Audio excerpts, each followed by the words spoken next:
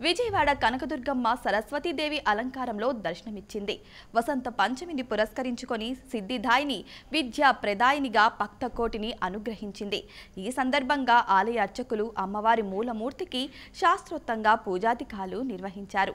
ఇక ఉత్సవమూర్తి వద్ద గణపతి పూజ సరస్వతి పూజ సరస్వతి మంత్రాహవనం జరిపించారు.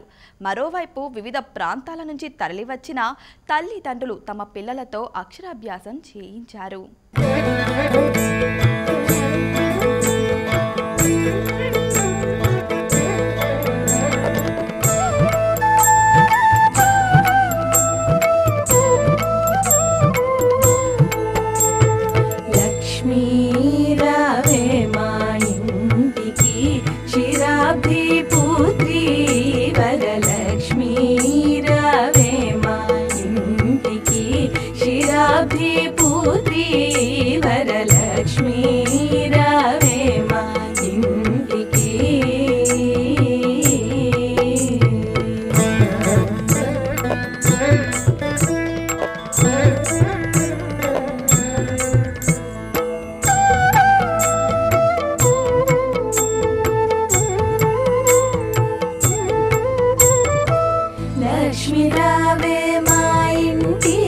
మా ఇంటికి లక్ష్మి రావే మా ఇంటికి రాజితముగా నీరాగచే లక్ష్మి రావే మా ఇంటికి రాజితముగా నీరాగచే సూక్ష్మమున మోక్షమిచ్చే సుందరి ఓంకారి జనని సూక్ష్మమున